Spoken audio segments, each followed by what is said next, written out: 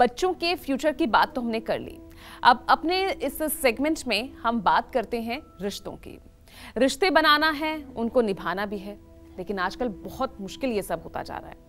ऐसे में रिश्तों से जुड़ी कोई भी परेशानी से पार पाने के लिए कौन से आसान उपाय होंगे? चलिए, पंडित जी से जानते हैं। पंडित जी, आजकल तो हम देख रहे हैं कि कितने रिश्तों में कड़वाहट आती जा रही है पति पत्नी का रिश्ता, तलाक के केसेस में बढ़ते जा रहे हैं। इन परेशानियों से कैसे बचा जा सकता है? एक बहुत बड़ा रिसर्च हुआ है हम्म।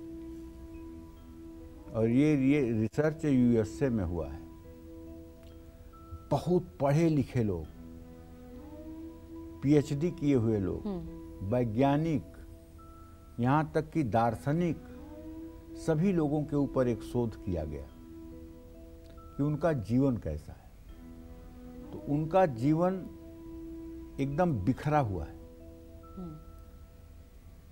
जीवन उन लोगों का सफल है जिन लोगों ने अपने रिश्तों को संभाला है। जी।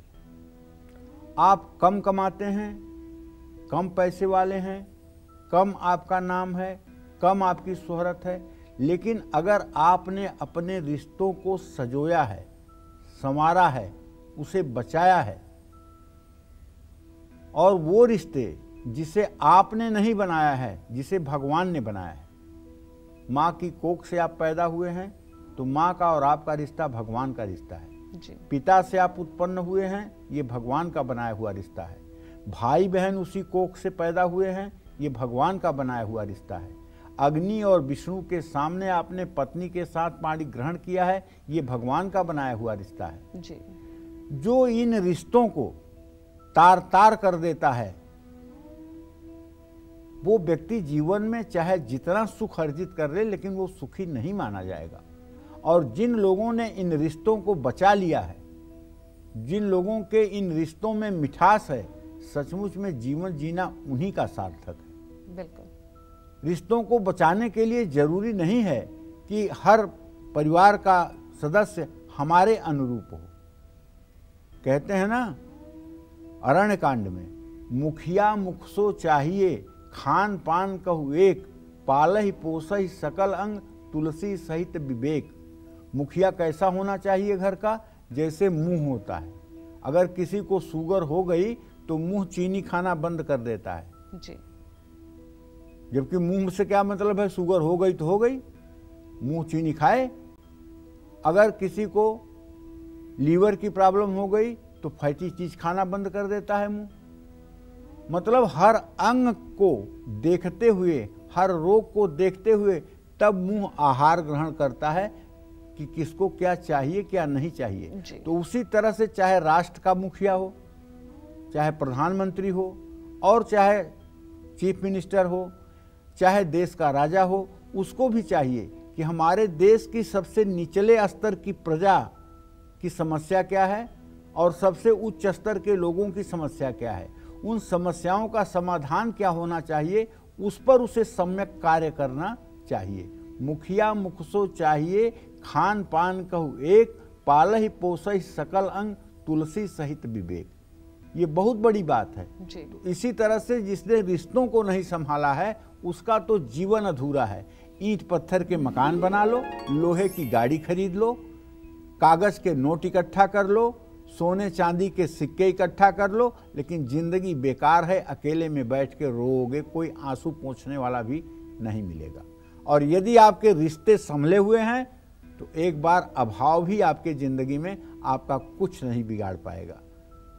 और लोग आपको अगर हम हमेशा धोखा देते हैं तो किसी ज़रूरतमंद बच्चे को बतासा और लाल कपड़ा दान करिए, ताकि आप धोखा देने वालों को पहचान पाएँ।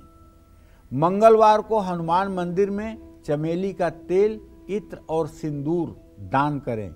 इससे भी आप धोखे से बचेंगे। बेवजह आपके मन में डर बना रहता है कि मेरे पति को कुछ हो जाएगा, मेरे बच्चे को कुछ हो जाएगा, मुझे कुछ हो जाएगा।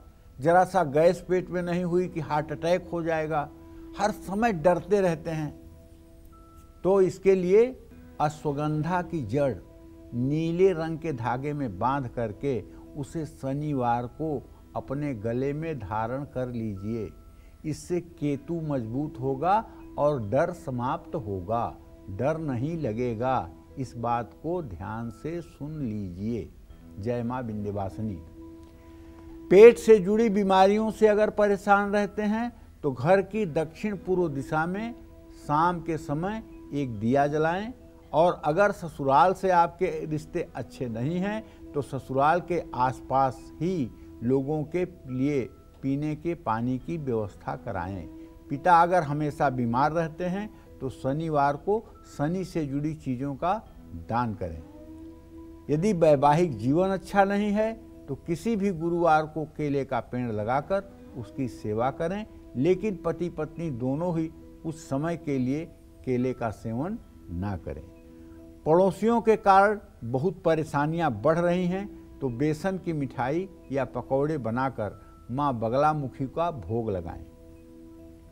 यात्रा में हमेशा अगर परेशानी होती है या यात्रा किसी कारण से हमेशा अधूरी रह जाती है तो यात्रा शुरू करने से पहले भैरव मंदिर में एक नारियल चढ़ाएँ और यात्रा शुरू करने के पहले घर से निकलते समय एक मंत्र बोलें मंगलम भगवान विष्णु, मंगलम गरुड़ध्वज मंगलम पुंडरी काक्ष मंगलाय तनोहरी और जिस नाक से आपके सांस चल रही हो, दाहिने या बाएँ नाक से, उसी तरफ़ का पैर घर की चौखट के बाहर निकाल करके यात्रा के लिए प्रस्थान करें। निर्विघ्न यात्रा होगी और सफलता के साथ आप अपने घर वापस लौटेंगे।